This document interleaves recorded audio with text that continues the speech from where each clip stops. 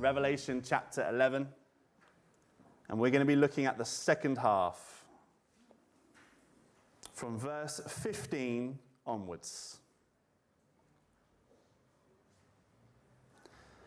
If you are joining us for the first time, then it is actually probably, if you're going to choose to join us at any point in the book of Revelation, you actually are choosing to join us at the best point in Revelation. If you had to pick and choose as to what point you would join us, if you weren't going to join us from the beginning, then this is probably the best point. The reason being is the chapters we're in right now are basically the turning point between the first three and a half years and the second three and a half years. To quickly explain what I mean, the majority of the book of Revelation, the majority, not all of it, focuses on a period of time in the future known as the seven years of tribulation.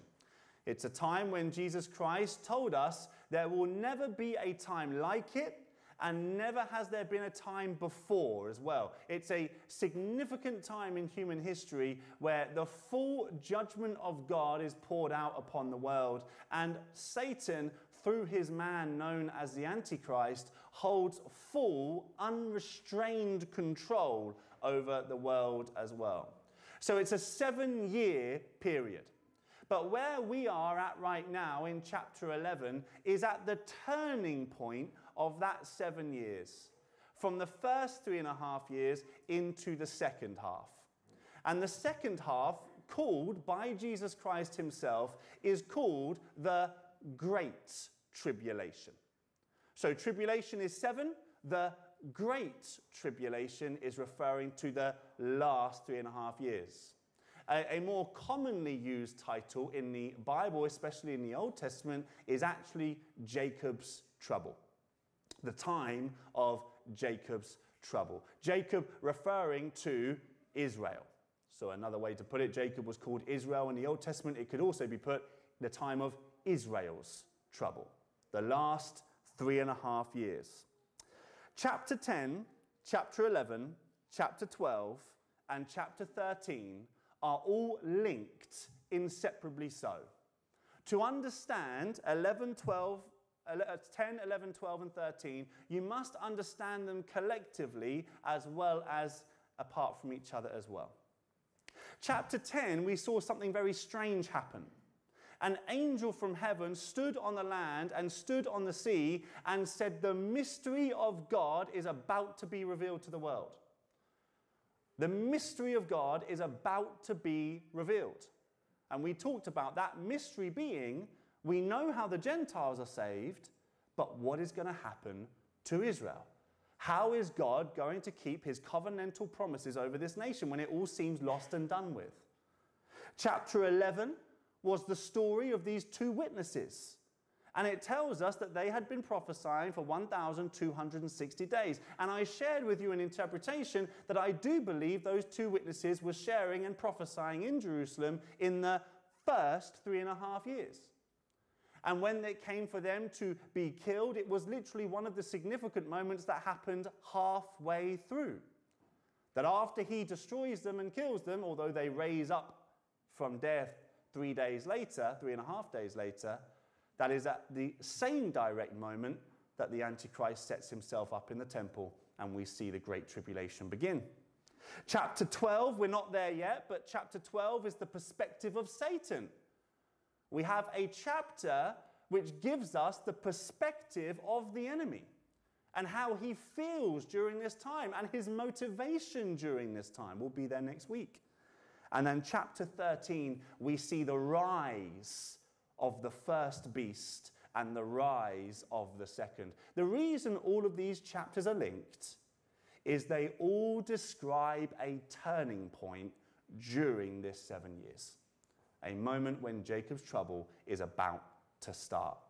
From chapter 13 onwards, we have the in depth detail about what takes place during this three and a half years. But what we have in these four chapters is the Bible shouting out to us something different is happening, something new has started. But today, before we pray, we're going to have a look at a very strange, what seems to be praise break in Revelation. Very strange moment. You have the two witnesses, You have Satan's perspective of what he wants to accomplish in his mission. You have the beast rising out. And then in chapter 11, at the end, in the middle of all of this, you have this praise break, this moment to stop and to praise and celebrate the coming kingdom of the Lord Jesus Christ. It's confused a great deal of people, but I believe, as we'll see, it has a great blessing attached to it. So, without, with that being said, let us now pray before we enter into the word. Father, with such things as the book of Revelation, we must lean upon you. We must appeal to you and ask you, Heavenly Father, to please help us understand these things, to reveal your scriptures to us by the power of the Holy Spirit, to make known to us what these words mean, Lord. You titled this book, Heavenly Father, The Unveiling of Jesus Christ. It isn't something that you designed to be hidden, Lord but something you designed to be unveiled, and you have indeed unveiled it through John to us. And so, Lord, we just pray, Lord, that a further unveiling would happen today. That the rest of this chapter, Lord, would be revealed to us. And not just so that we may gain knowledge, but that we too may join in the chorus of celebration of the coming kingdom of the Lord Jesus Christ. That we might be encouraged in the victory that we cling to, in the hope that we have. Lord, I pray for those of them, Lord, here who, who do not know you, who have, whose lives are not yet hidden in Christ. I pray, Heavenly Father, today would be the day of their salvation. That your Spirit would open up their hearts and their minds, regardless of how many times they've been in church or how many times they've heard sermons. I pray, Lord, today would be the day that you pierce them, Lord, with your truth and just how much you love them. In your precious name, amen. Let's start in verse 15 of Revelation chapter 11. Then the seventh angel blew his trumpet, and there were loud voices in heaven saying, The kingdom of the world has become the kingdom of our Lord and of his Christ, and he shall reign forever and ever. So, previously, what we'd just seen happen in the Bible, what we'd just seen happen was the two witnesses were killed, and for three and a half days their bodies lay in Jerusalem, and then three and a half days later they were raised back to life and taken to heaven when Jesus said, Come up here. That's the last thing we saw. But at the very final part of what we looked at last week, a warning is given. And the warning at the very final part of what we looked at last week says this Two woes have passed, one woe is still to come. You can have a look in your Bibles, it says it right there in the line before I've just read. Two woes have passed, one woe has still to come. So we can automatically identify it's not over yet. There's more going to happen. There's more woes, more judgment to still fall upon the earth. And yet, this break is given in between. It says the seventh angel blew his trumpet. Every time a seventh of something is happening in Scripture, there seems to be this moment of clarity, this moment of pausing. In chapter 8, when, sorry, in, cha- yeah, in chapter 8, when the seventh seal was opened, it says there was half an hour of silence in heaven. No one said a word. Half an hour of silence. Here, when the seventh trumpet is blown, we see this praise erupt in heaven. And later on, when the seventh bowl is poured out, a voice from heaven says, It is done. The wrath of God is complete. So there's always an extra when the seventh happens. Now, I tried using this example when I was kind of practicing for today, and I actually confused myself. So I'm going to hopefully not confuse you guys as I do this. But you know those China dolls you used to be able to buy? I don't know what they're called, but you know the ones which used to be able to open, and there was a smaller China doll inside, and then you'd open that one, and there was a smaller one, and you could just carry on? I found them just fascinating as a kid. I just wanted them to infinitely carry on and just get smaller and smaller and smaller. Revelation's a bit like that. In the sixth chapter, we saw, fifth chapter, we saw a seven sealed scroll. Nothing in Revelation happens outside of that seven sealed scroll. Everything that happens in the seven years is involved in the seven sealed scroll. But when you open up the seventh sealed scroll, there's seven trumpets. And when you open up the seven trumpets, there's seven bowls. And so the seven bowls are within the seven trumpets, and the seven trumpets are within the seven, seven sealed scroll. All of it is contained within that title deed we saw in chapter 5. Now, I said that to myself yesterday and I confused the life out of myself, so I really apologize if you're wondering what on earth I'm talking about. The point is, there's layers to Revelation. And as we're making our way through, we're breaking down layers here just to help you understand what's going on. So the seventh angel blew his trumpet. The last trumpet now brings about the seven bowls. The last trumpet now brings about the seven bowls that we previously saw is considered as the last woe. Two woes have come, one woe is left, and the one woe is the collection of the seven bowls. And there were loud voices in heaven saying, The kingdom of the world has become the kingdom of our Lord and of his Christ, and he shall reign forever and ever. Now, this verse has caused a great deal of confusion over the years because chronologically, that hasn't happened yet. A lot of commentators have struggled. Some have even been as brave to say that this was misplaced by scholars, that it should have been in Revelation 20 or 19. It's not meant to be here, it was accidentally placed. I don't believe that. I believe in the sovereignty of God and it's where it's meant to be. However, it confuses a great deal of people because in the story of Revelation, this hasn't happened yet. They are talking in a present tense about something that is still at this present time, yet future. So we're going to get into it a little bit. The first thing I'd like to say is, in a way, it has happened. In a way, it has happened. In a way, it's true right now. In a way, let me explain why. When Jesus Christ died on the cross and resurrected, he not only made a way for humanity, fallen and sinful as we were, to be redeemed to our God, but he also, as we talked about in Revelation chapter 5, purchased back creation. In Genesis chapter 2, God said to Adam and Eve, I give you the earth. You have dominion over it. You have dominion over the land, over the sea, over everything that's in them. You have dominion over the earth. I give you this title deed. You have ownership. Look after it, care for it, be good stewards of it. When they then rebelled against God, Satan took that title deed. He took it. He became the God of this world lowercase g, the ruler of this world.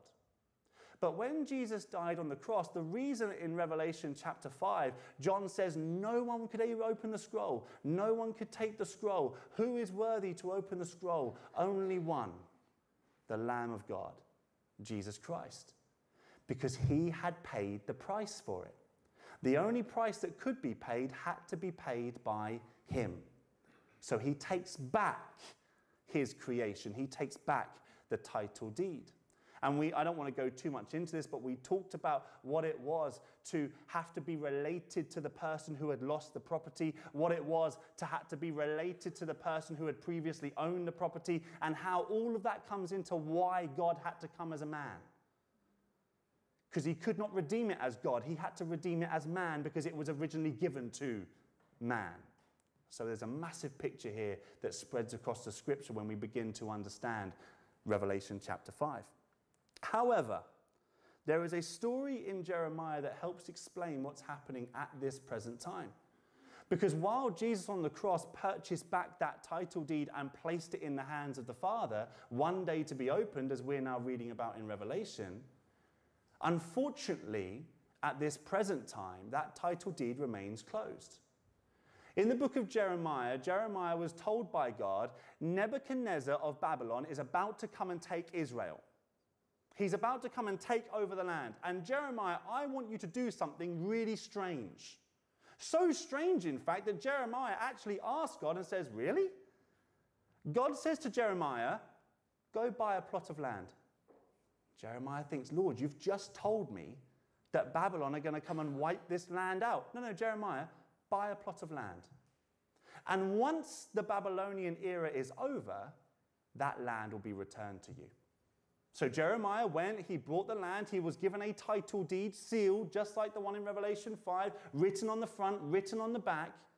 And once the Babylonian time of captivity had come to an end, Jeremiah's descendants received that land back. However, notice that while in God's eyes the land belonged to Jeremiah, it was still very much under Babylonian control. In the same way that this land belongs to the king known as the Lord Jesus Christ, but it is still very much under a, another ruler's control, still under a, another kingdom presently. Now, this has been twisted slightly. What I'm saying to you, these verses that we're reading in Revelation have been twisted slightly with something called a postmillennial view. And I, don't want to go too much into the big words of it. I'm not big on big words, but I'm just going to very quickly explain what they believe.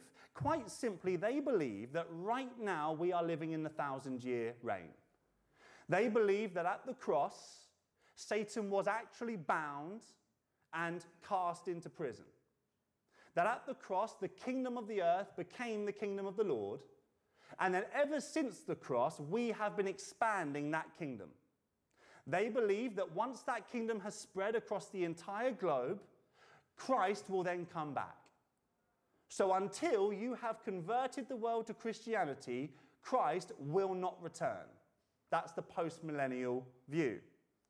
Big problem with that we're losing. Really big problem. We are losing miserably if that's the case. If the target is to convert the world to Christianity and only then Jesus Christ will come back, all of my motivation to evangelize has just disappeared. Because I don't know about you, it doesn't take much of a discerning person to look at the world and realize that if anything, the church is declining, not increasing. And when I say church, by the way, I'm talking about true church. I'm talking about God fearing, Bible believing, spirit filled believers who will not compromise, regardless of the time, the culture, or the pressure placed upon them. That's what I'm talking about. I'm not talking about mega churches with pastors flying over in million pound jets, although I will be getting in my helicopter a bit later to go home. But Thank you for purchasing it for me. Obviously, I'm joking for those of you who are new. there are three big points to this. The first one is the church is not winning. If that's the case, then we're losing. The second one is Paul in the New Testament tells us that Satan is still the lowercase g God of this world. And he tells us that Satan is still the ruler of this current darkness. So the belief that he's been bound and chained away cannot be lined up with Scripture. Third, you have to symbolize and allegorize most of Ezekiel, especially the last parts, Zechariah, and pretty much all of Revelation. Or you have to place Revelation not as prophecy, but something that's already happened. And probably my biggest problem with it is Israel disappears from the picture. If the church has to simply spread Christendom across the entire world, Israel no longer has a destiny and the covenant of God over Israel is now annulled. Unfortunately, this belief is stooped and comes from a foundation of Roman Catholicism. The Roman Catholics believed it was their duty through force or through conversion to spread Catholicism across the entire globe, and they did so by force with massive armies. This belief, this postmillennial belief, has its roots in the Catholic understanding of casting a wide net across the world and converting a population of people, whether through kings or through armies in left, right, and centre. It's simply softened over the years with a more liberal view. So, this is not what I'm referring to when I tell you that Christ has indeed purchased back the land. It is not a postmillennial view. It's simply a fact that what Christ accomplished on the cross was not only your salvation, but also purchasing back the title deed. That he has yet to open. One day he will, and that's what we're learning about in Revelation. So let's carry on. Let's go back to this confusing verse. The kingdom of the world has become the kingdom of our Lord and of his Christ, and he shall reign forever and ever. This is at this present time still future. It still needs to happen. But the voices are not on earth.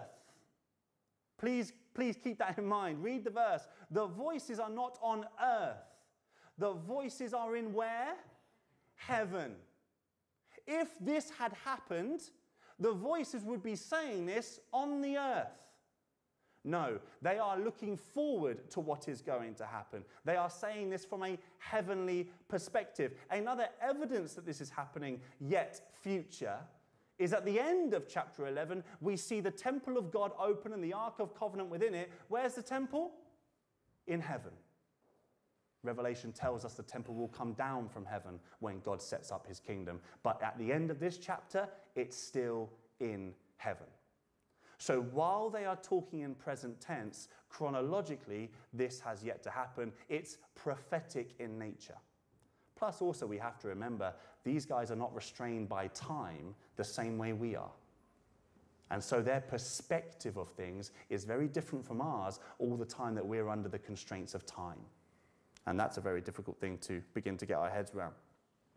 The kingdom of the world. Some of your translations, if you've got a KJV, may say the kingdoms of the world. I don't particularly mind that translation. I do prefer the kingdom, singular, because as the Bible teaches, there are only two kingdoms in this world. There's only two. Scrap all the flags, all the countries, all the borders, all the nations. The Bible teaches there are two kingdoms in this world.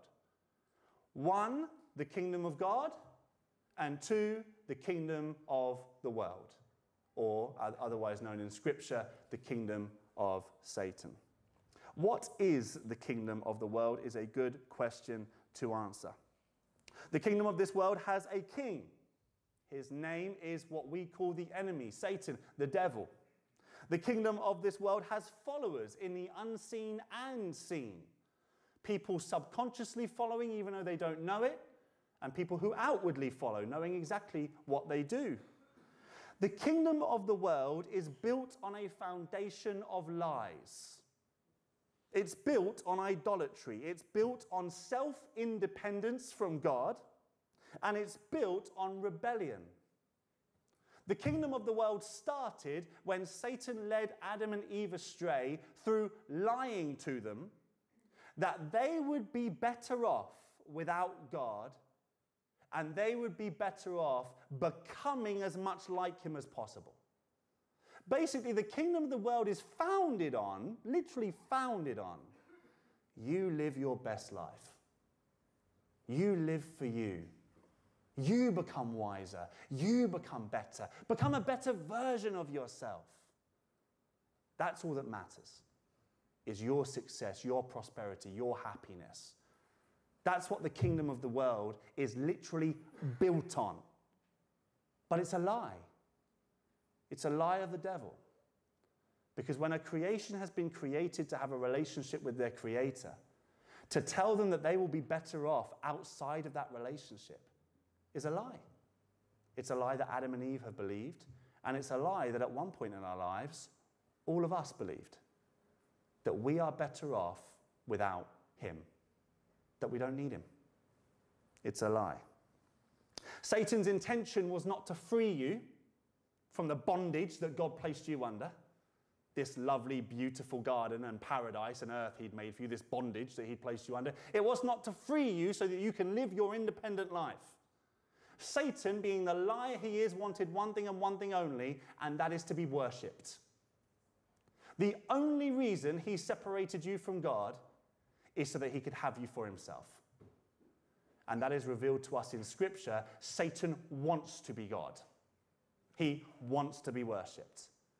So, once again, we can add to the foundation of the world selfishness, pride, idolatry. What about the kingdom of God? The kingdom of God is founded on Jesus Christ. Not lies, not idolatry, it's founded on the cornerstone, on the rock the Lord Jesus Christ. God's kingdom, and I love this, is founded on love.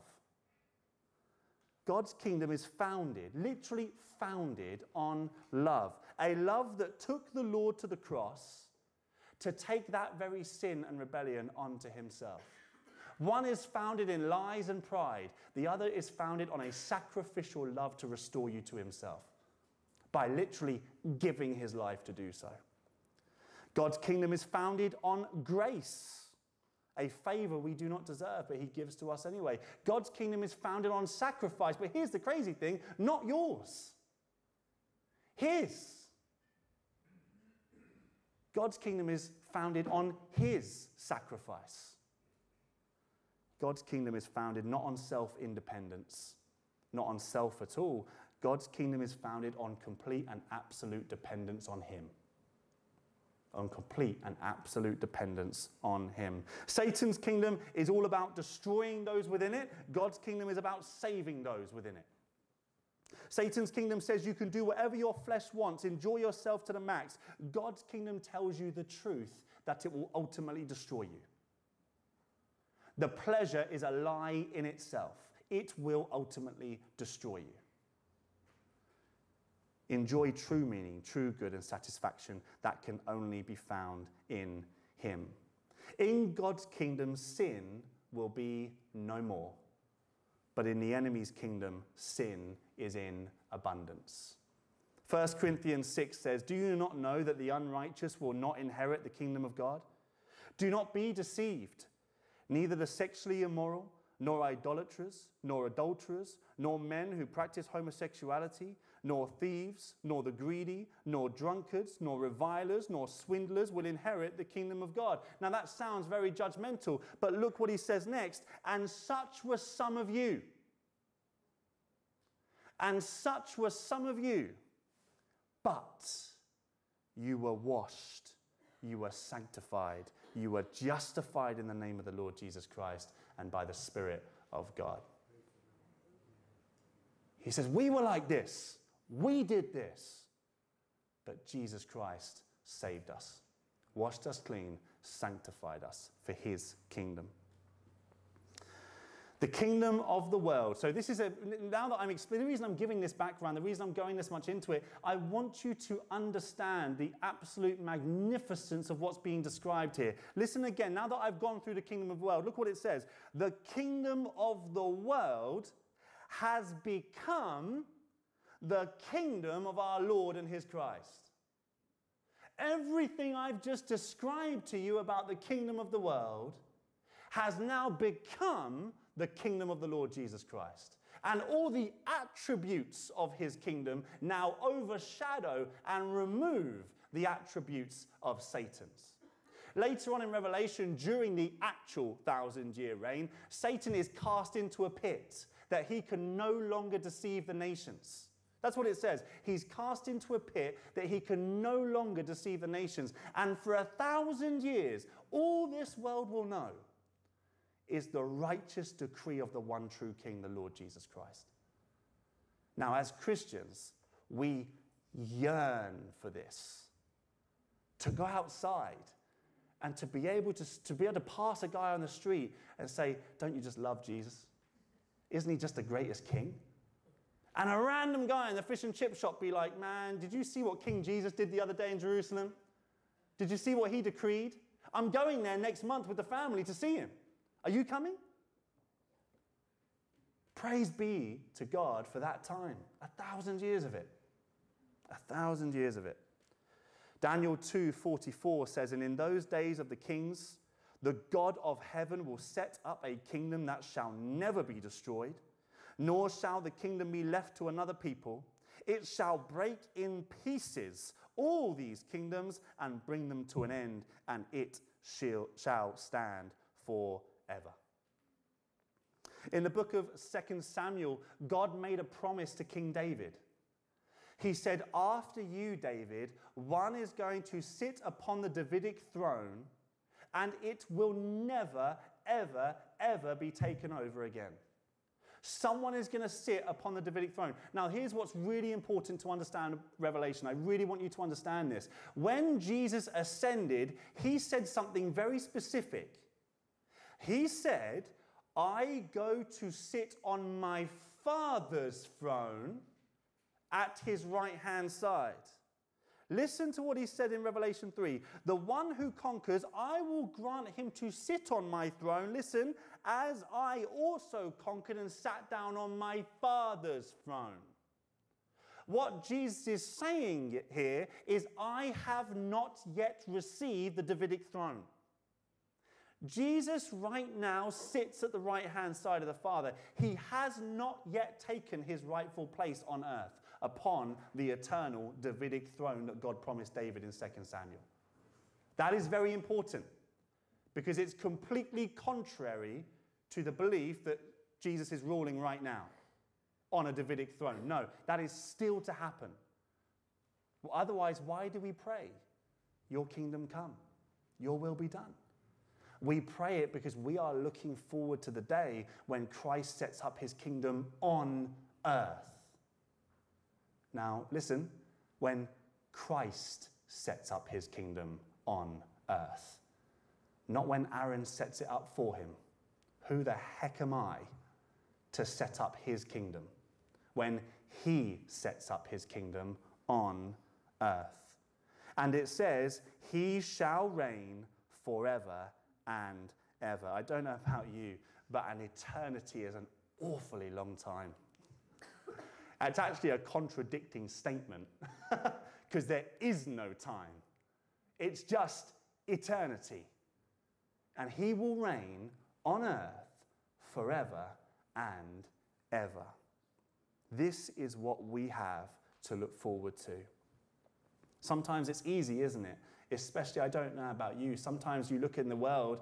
Haley, my wife, often says, Aaron, you know, Stay away from the news sometimes because it can just fill your heart and your mind with so much depression and so much sadness. I find myself sometimes getting distracted while doing sermons, clicking and watching news articles and going back to the sermon and being like, oh, what did I just watch for 10 minutes? It just depressed me. But even in our own lives as well, independently, individually, we can go through such difficult seasons. Seasons where it just feels like we're getting pummeled from every direction. And that feeling of hopelessness can creep up. But this is what we're clinging to. This is the hope we have. That regardless of what's happening now, we know who wins. We know who gets the victory. We know who accomplishes exactly what he said he's going to do a kingdom forever and ever and ever. Let's carry on in verse 16. And the 24 elders who sat on their thrones before God fell on their faces and worshiped God, saying, We give thanks to you, Lord God Almighty, who is and who was. For you have taken your great power and begun to reign. The nations raged, but your wrath came, and the time for the dead to be judged, and for rewarding your servants, the prophets and the saints, and those who fear your name, both small and great, and for destroying the destroyers of the earth. These 24 elders, this is the last time we will see them in the book of Revelation. The last time we'll see them collectively, 24 of them together. Every time we've seen them so far, it has always been before God's throne, praising Him. What's really interesting is in chapter 20, it tells us that on the earth, thrones are set up. Now, it doesn't tell us who's sitting on them, it just tells us that thrones are set up. So, this is the last time we see these elders on thrones in heaven. The next time we see the mention of thrones in the plural is when they are set up for who to rule upon them? The saints. So, you can make of that what you will. We give thanks to you, Lord God Almighty, who is and who was. I love the fact that they start with a very important point. We give thanks to you. Every single Christian, when they meet the Lord Jesus Christ, should only be uttering words of praise. We give thanks to you. One of the most dangerous thing as Christians takes place in Matthew 7. The Lord says, "Will not many come to me in the last days?" And will they not say, Did we not prophesy in your name and cast out demons in your name and do mighty works in your name? And then I will declare to them, I never knew you. Depart from me, you workers of lawlessness. What Jesus is saying here is if a person comes up to me when I return and says, Lord, look what I did, look how I helped, look how I worked, look what kingdom progression I did, look at me, Lord. The Lord literally says to that person, I never knew you. Because anyone who truly knows me, anyone who truly understood the gospel, anyone who truly belonged to me, the first thing they'd be doing is saying, Thank you. Thank you, thank you, thank you, thank you. Not, Lord, look what I did. Pointless. So they start by saying, We give thanks to you. I love the verse that says, Even the good works that God has given you, God prepared before you. If you do a good work, you're not even able to take credit for that. Because God is the one who prepared it before your very feet to do. So, all praise to God. We give thanks to you. Lord God Almighty. The word Lord there is the word theos, it means master. He to whom a person or thing belongs, the owner, the prince, the sovereign one. Sometimes it makes people feel slightly uncomfortable when we describe the word Lord like this. They don't like the fact it's, it's equivalent to owning someone. They're like, I don't like that. I would remind you that in Romans chapter 6, Paul says, I have been purchased by the blood of Christ. He says, My life no longer belongs to me. I am actually, he actually uses these words. He says, I am a slave to Christ a servant to Christ. I have been purchased by him on the cross. He says, No longer I who live, but Christ who live through me. Now that would seem quite difficult if I left it there, but here's what's beautiful. Is while God could indeed bring us into the house as servants, he actually brings us into the house as sons and daughters. While Christ did indeed purchase your lives, he purchased them in order that He can be your father, in order that he, you can be His son, in order that you can be His daughter. He purchased them back from one who took them by force. He purchased them back from sin and the enslavement that sin causes. It carries on with the word theos in Romans chapter 10. It tells us that a believer must first believe in their heart, and then it tells us that after believing in their heart that Christ raised from the dead after three days, it says they confess with their mouths and then they will be saved. But the confession is very specific. It says they must confess that Jesus is theos, Lord, Master. It's an overflow from what's in here. A true belief in Christ overflows into an acknowledgement that He is now my Lord. And we as Christians are not just to say it, it should be evidenced in your life. It should be evidence that your life no longer serves yourself, but it serves one who has purchased you by the blood of Christ. It serves the Lord God Almighty. The word Almighty is the word Pantocrator, and it literally means the one who has everything in his hands. Out of, the, out of the 10 times in the New Testament it's used, nine of those times appear in the book of Revelation. Nine out of 10. The one who has everything in his hands, the Almighty God, the Almighty Sovereign One. In Isaiah 9 6, I once, on a YouTube uh, video we put up, we once had a comment saying, you know, if Jesus is God, you won't be able to find me anywhere in Scripture that he's called mighty like God is called mighty. You won't be able to find me anywhere in Scripture where if Jesus is God, find me where he's called mighty like God is. And I said, challenge accepted. Isaiah 9 6. For to us a child is born. To us a son is given. Who does that sound like? And the government shall be upon his shoulder. His name shall be called Wonderful Counselor, Everlasting Father, Prince of Peace, Mighty God. mighty God. I did comment that and I never got a reply. so I'm guessing he saw it.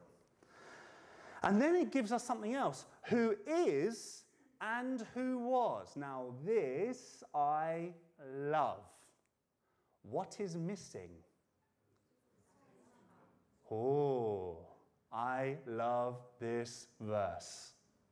In Revelation chapter 1, when Jesus revealed himself to John, he says, I am the Alpha and the Omega. I am the one who was, who is, and who is to come. That's who I am, John. It hasn't happened yet.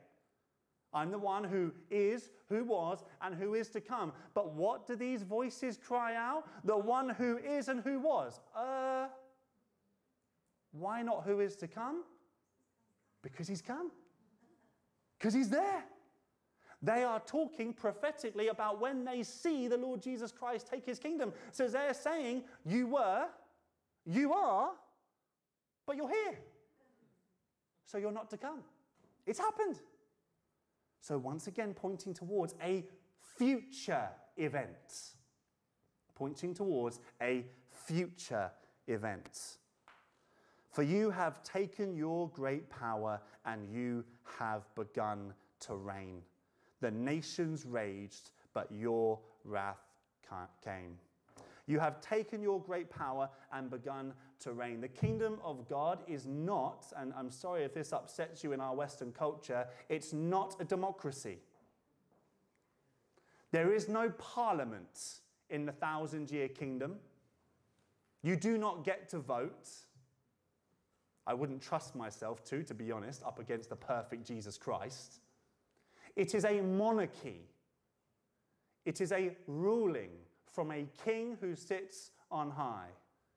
The Lord Jesus Christ as king, and he reigns over the entire world. It says, your nation, The nations raged, but your wrath came. Now, I'd just like you to go to Psalm 2. We're going to spend a tiny bit of time in Psalm 2. In your Bibles, turn there. It's a fairly easy one to find. It's just after Psalm 1. But Psalm chapter 2. I believe that John, through inspired by the Holy Spirit, is linking these two passages for a, a very good reason.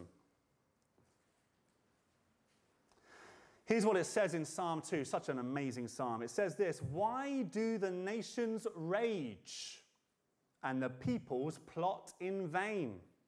The kings of the earth set themselves, and the rulers take counsel together against the Lord and against his anointed, saying, Let us burst their bonds apart and cast their cords from us. He who sits in heaven laughs, the Lord holds them in derision. Then he will speak to them in his wrath and terrify them in his fury, saying, As for me, I have set my king on Zion, my holy hill. I will tell of the decree. The Lord said to me, You are my son. Today I have begotten you. Ask of me, and I will make the nations your heritage, and the ends of the earth your possession. You shall break them with a rod of iron, and dash them in pieces like a potter's vessel. Now, therefore, O kings, be wise be warned, O rulers of the earth. Serve the Lord with fear and rejoice with trembling.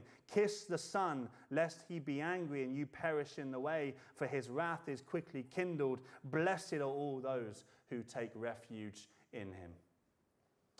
Psalm 2 and Revelation 11 are describing a moment in time when the nations are raging and desiring, one, to destroy Israel, and two, to set up this one world kingdom finally without these nuisance in a way of this nation that continually stand against them. And when Christ returns, he will not be received in a way of, thank goodness you're here. At this present time, as described in the book of Zechariah, we haven't got there yet, but Zechariah describes that at this present time, the mark of the beast has already been given out. Zechariah describes that at this present time, the nations are already gathered against Jerusalem, all of the nations. Half of Jerusalem is literally destroyed, and the other half's about to be. Zechariah describes that they gather to guess where? The Mount of Olives. Do you think it's a coincidence that Satan gathers the armies of the world to the very place that Jesus said, I'm coming back here. It's almost like he's anticipating something. So when Jesus comes back, it's not met with applause, it's not met with celebration, it's met with fear, it's met with a rage. Have you ever been, and this is a really silly analogy to use, but have you ever been told off by your mum and dad and you're, you're, you've been like, maybe you've been like told off or, or like smacked or put on the step or whatever, right? And afterwards, you're just so angry. You're like, oh, but they're your dad. So you're like, oh, I'm going to just hide how angry I am right now, but I can't actually do anything about it. But if I could, I would, but I'm not going to because I'm terrified. You know that kind of inner fury that a child will have in their bedroom as they're trying to work out what just happened? I liken it to that sort of rage. Because it's a rage that they can do nothing about. It's a rage that can, they, they literally has no action to it whatsoever. They're just furious that they've lost. But losing is an inev- inevitability. There's nothing they can do. So the nations rage at the fact that they have now been subjugated to the one true king. But the one true king in his wrath says, I will rule from my holy hill. Now, every time the Bible speaks about Christ's second coming and his rule, it's very, very different from the first coming. And here's why it talks about him ruling with a rod of iron, it talks about him breaking the vessels into pieces. It talks about him placing his hand upon them with firmness and ferocity. This is not the same as him riding into Jerusalem on the back of a donkey. This is a conquering king who has come to take what he's already purchased back from someone it doesn't belong to and to place them under the authority of God, whether they like it or not. Very, very different from how we read the Gospels, isn't it? The Lamb of God is indeed the Lamb, but he is also the Lion at the same time and the time for the dead to be judged, and for rewarding your saint servants, the prophets and the saints, and those who fear your name, both small and great. If you go through what the elders are saying, what you're actually being given in a prophecy is a timeline. Literally, what you're being given is a timeline. First, the nations rage. Then, Christ comes. Then, after the thousand years, as we know in Revelation 2021, the dead are judged.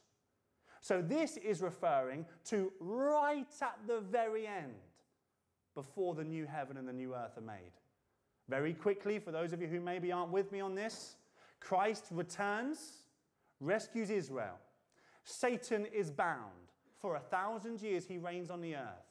After a thousand years, he releases Satan.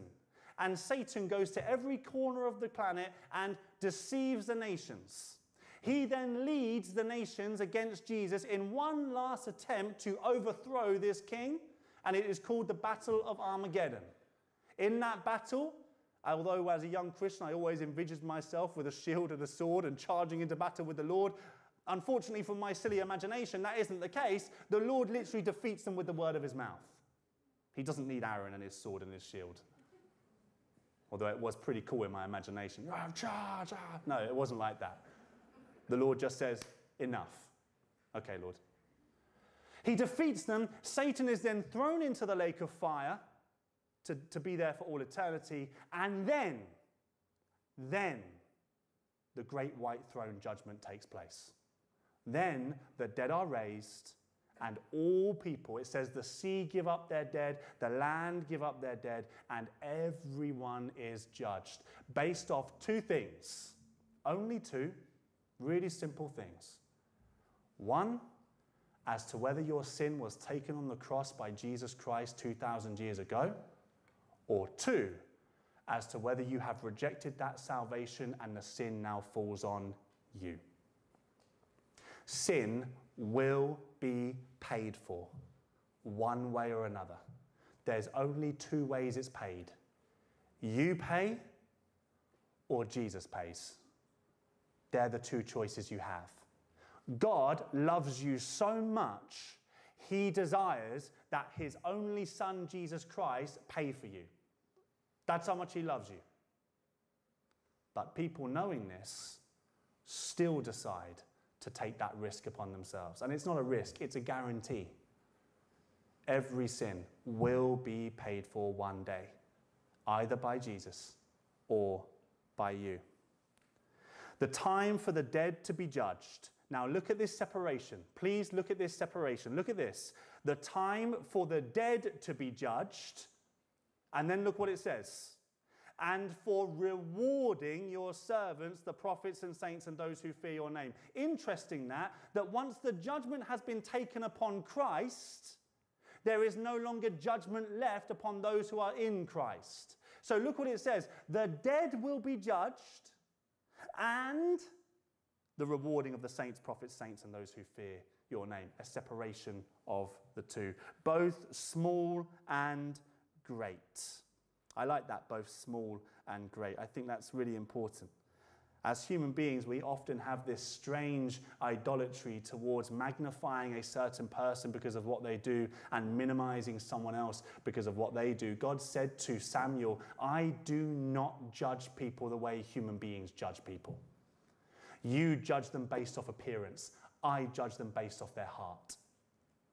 The preacher who is flying around with the million pound jet or my helicopter out back that I'll be departing in a little while. That preacher may earn nothing compared to the lady who stacked chairs for 45 years, but every single time she did it in church, she did it because she loved Jesus. The person who fed the homeless people and never told anyone about it. The person who cared for orphans and widows and never told anyone about it, but did it simply between them and God. The person who went out of their way to try and build up their brothers and sisters in Christ, to try and encourage them, to try and love them, to try and lead them into healing. The person who did everything they can to honor God in their lives and love Him and serve Him with all of their heart, their soul, their strength, and their mind. Not so that people could see them, so that God could see them. That person has a great reward waiting for them in heaven. Not necessarily the preachers, the pastors, Although I hope there might be something, but still, who knows? Only the Lord knows. Matthew 23, the greatest among you shall be your servant. What did it just say? The greatest among you shall be your servant. Whoever exalts himself will be humbled. Whoever, read that again, whoever exalts himself will be humbled. Whoever humbles himself will be exalted. Whoever humbles himself will be exalted. Matthew 18, at the time the disciples came to Jesus saying, Who is the greatest in the kingdom of heaven? And calling to him a child, he put the child in the midst of them. And he said, Truly I say to you, unless you turn and become like children, you will never enter the kingdom of heaven. Whoever humbles himself like this child is the greatest in the kingdom of heaven. What's a child like? A child is fully, absolutely, fully, unequivocally dependent on their parent. A child needs their parent for everything. A child needs their parent for the most undesirable of things, like going to the toilet, to the most magnificent of things, like going to the park. A child needs their parent for everything. A child wakes up every day excited to see their parent, doesn't want to go to bed because their parents are still awake. A child loves to hug their parents, spend time with their parents, get praise from their parents. A child doesn't care about me if I'm not their parent, he just wants his parent. If you have a son in a crowd of a hundred and the mother cries out to the son, he knows his mother's voice straight away. That's what it is to be a child of God. To be as dependent on God every single day as a three year old, as a four year old, as a five year old is dependent on their parent every single day. The second you get to the point in your spiritual maturity where you start to think, God, I, I've got this you are in serious, serious trouble. Spiritual maturity should not be growing in self dependence. Spiritual maturity should be the realization as you grow of how much more you need God. That's the mark of a mature Christian, not someone who can do it all themselves. That's the complete opposite. It says both small and great, and for destroying the destroyers of the earth. That is the moment when God rids this world of the devil, rids this world of the demons, rids this world of those who have given their allegiance to him and have sworn their allegiance to him. He destroys the destroyers of the earth. Remember that nowhere in the Bible does there describe any sort of mourning for Satan. Someone once said to me, and they really did, they said, and I understand where they're coming from, they'd just given their life to Christ. They said, Should we feel sorry for demons? Should we feel sorry for the devil? In the Bible, there is no description in any way, shape, or form of any mourning for these beings. The only mourning described in the Bible for those who are cast into hell is for men and women. God says, Do you not think I would rather they turn to me and be saved? Do you think I take any pleasure when the people I love so much die without knowing me? And then, verse 9, we're going to finish with this as a very mysterious verse. Then God's temple in heaven. Where? In heaven. Not yet on earth. Then God's temple in heaven was opened, and the ark of his covenant was seen within his temple. There were flashes of lightning and rumblings, pearls of thunder, an earthquake, and heavy hail a strange moment. God's temple, the same temple that later on we see coming out from heaven, then God's temple was heaven was, in heaven was opened, and the ark of his covenant was seen within his temple. For those of you who don't understand the significance of this moment, there it is twofold. One, the ark of the covenant has been missing ever since Babylon took over Jerusalem. No one knows where the Ark of the Covenant is. For those of you who, who don't know, just take it one step further. The Ark of the Covenant was something that God instructed Moses to create. And within the ark, it was in the holies of holies within the tabernacle or within the temple later on. And within the ark was the tablets of stone that the Lord wrote the law on. There was Aaron's uh, staff that had budded as proof that he was to be the high priest. There was a pot of manna that was kept to show how God provided for Israel during the wilderness. And they carried all of these kind of sacraments in the Ark of the Covenant and carried it along their way as a sign of God's covenant over this nation. But once Babylon, Nebuchadnezzar, marched into Jerusalem, marched into the temple, it tells us that he took the pots, he took the pans, he took the gold, he took the silver, he took the furnishings. But it never says anywhere what happened to the Ark of the Covenant. Many theories. Some people think it's in Ethiopia. Some people think it's buried under the Temple Mount. There are all sorts of theories. I have a theory. I think it's right here. I think it's right here. I may have just sussed it, everyone. Someone called Israel. I found it. I think it's right here. The ark of his covenant was seen within his temple. Now, there's one slight change, and this is beautiful. In the Old Testament, the description used was always the Ark of the Covenant. Always. In the Old Testament, it's always the Ark of the Covenant. But here we see something different the Ark of His covenant, the covenant He made. In Genesis chapter 15, when God began to make a covenant with Abraham, he told Abraham to get these animals and to cut them in two and lay them aside. And for those of us in the Western world, we have no idea what's going on. Very simply, Abraham somehow knew exactly what to do with them. And the reason being is that what was happening there was an ancient way of signing a contract. It was an ancient way of signing a covenant. And what would happen is the man with, with another man would stand in the middle of the animals which have been split in two. And what they would say to each other is, if you break the covenant or if I break the covenant, let this happen to us. So if either one of us break the covenant, let us be split in two like these animals. That's what the covenant signing was. That's how serious it was. Something beautiful happens.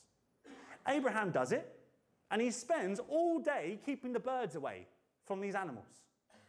And he gets to night and God still hasn't turned up and he falls into a sleep. When Abraham wakes up, he sees God standing in the middle. He sees God standing in the middle. But Abraham's outside. So, for a covenant, surely Abraham needs to quickly get in there. But God says, no, wait there. Because this covenant is not based on you. You play no part in this. This covenant is only and will only ever be based on me. Abraham, I don't trust your name, I trust mine. Abraham, I know you're a good man, but I don't really trust your promises. Abraham, I can't really trust you to keep up your end of this covenant. But Abraham, you can always trust me to keep my promises and never change my mind. Now that's for Israel. Let's flip it over. Did you die on the cross? Did you have any part in it whatsoever? Did you sit in heaven with the Lord and draw the blueprint? Did you carry the cross up the hill with the Lord? Was that you? Did you even know about it before you were born? When Jesus Christ died on the cross, here's what he said. The same thing he said to Abraham, he says to you This is not based on you. This is not based on your goodness. This is not based on your promise, on your ability to remain faithful to me. This, like then, is only based on me, my obedience, my works, my faithfulness, my unchanging mind and heart, my ability to keep a promise over your life. Praise God for that. Because if I spent, if I was included to 0.1% of that covenant, and if 0.1% of that covenant relied on my ability to keep it, I'd be marching in the other direction to hell with everyone else. Because that's my flesh, that's my nature. But when my salvation is no longer based on the promise I can keep, but based on the promise God can keep, then, like the Apostle Paul, John says in 1st, 2nd, 3rd John, I can have confidence for the day of judgment because my confidence is not in me, it's in the promise keeper, in the Lord. This is his covenant. His covenant. And the second very quick meaning, and the reason it's so important, is the Jewishness of it. God is giving a message here to Israel. The Ark of the Covenant means nothing to the Gentile. It means nothing. What does the Ark of the Covenant mean to the Gentile? It wasn't given to the Gentiles, it didn't hold things that the Gentiles had anything to do with. It was all about Israel. God, when the temple opens, is reminding Israel at the turn of the Great Tribulation, you are still my people. My covenants are eternal. My promises have not gone anywhere. I'm coming back for you. This is why this interlude happens before we find out all these terrible things that take place.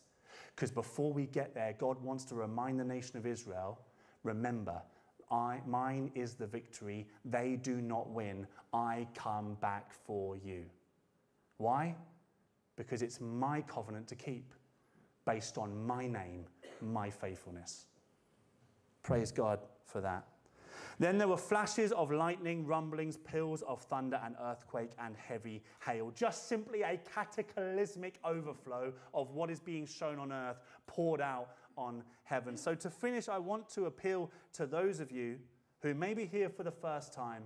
Maybe you've been to church a hundred times. Maybe this is the thousandth sermon you've heard. Maybe your wife or your husband, your son or your daughter, your mother or your father continually go on about God to you. I want you to understand the reason is, is because there is nothing more important in all existence, in the whole cosmos, that you know the one who created you.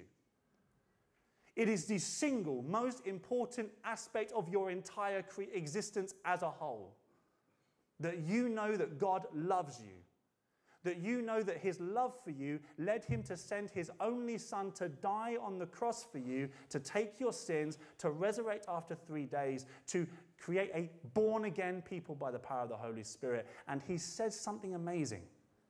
When you say, Lord, what must I do to be saved? Jesus just simply says, Believe in me and you will be saved. Trust in what he said he has done. Believe in Jesus Christ. Confess him as your Lord and Savior. And you will be saved and receive the promised Holy Spirit, which will create in you a new heart, a new mind, a new person altogether, no longer belonging to the kingdom of this world, which is heading in one direction and one direction only, but belonging to the kingdom of God that lasts forever and ever and ever. Amen?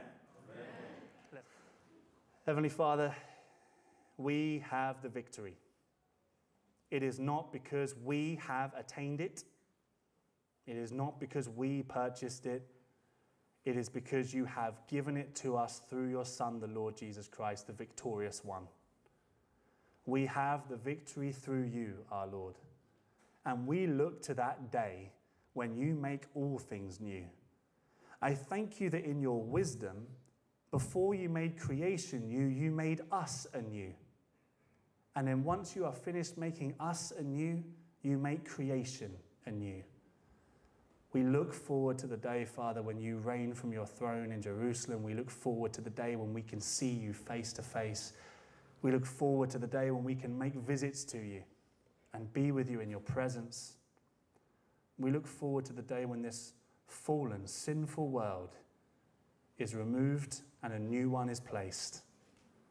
Father, I pray for the souls of those whose sins are still upon themselves I pray, Heavenly Father, they would reach out and take the hand of Jesus Christ, and their sins would be taken by you upon the cross, Lord, as you desire them to do so, that they too might be saved and have this hope and victory that we have.